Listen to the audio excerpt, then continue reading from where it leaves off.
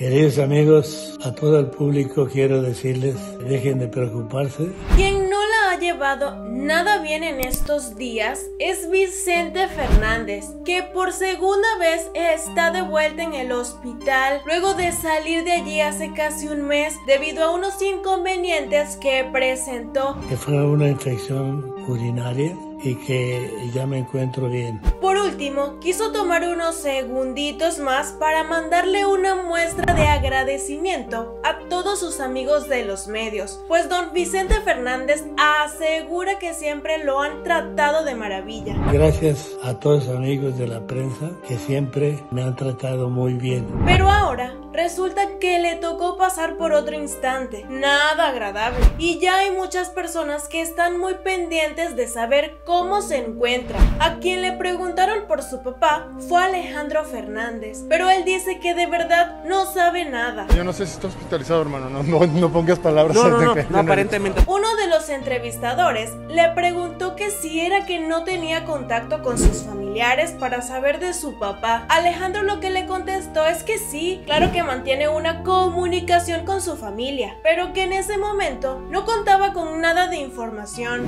Sí, pues obviamente que sí hemos estado en contacto, pero pues no tengo nada de información.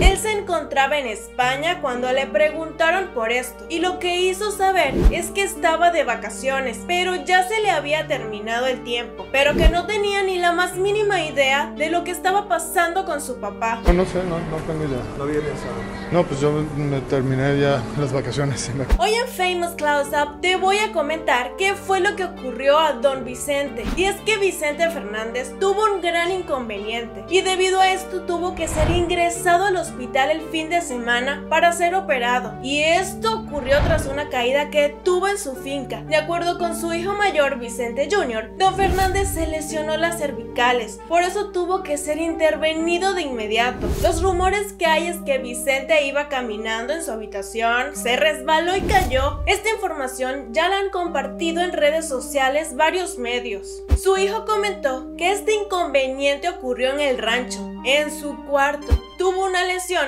pero que ya se la habían corregido y que todo gracias a Dios iba muy bien. Él dice que quien les dio la noticia fue su mamá y añadió que aunque Vicente está respondiendo bien tras la intervención y con los medicamentos, la familia sigue asimilando esta noticia. Otra de las cosas que dio a conocer Chentillo es que cuando su papá mejore tendrá que someterse a terapias. Su público, sus seguidores se mantienen al tanto de cualquier información que pueda darse la recuperación de Vicente Fernández. Esperemos que don Vicente se pueda recuperar muy pronto. Si te gustó el video, dale like, suscríbete a nuestro canal y síguenos en nuestra página de Facebook. Esto fue Famous Close Up, gracias por quedarte hasta el final.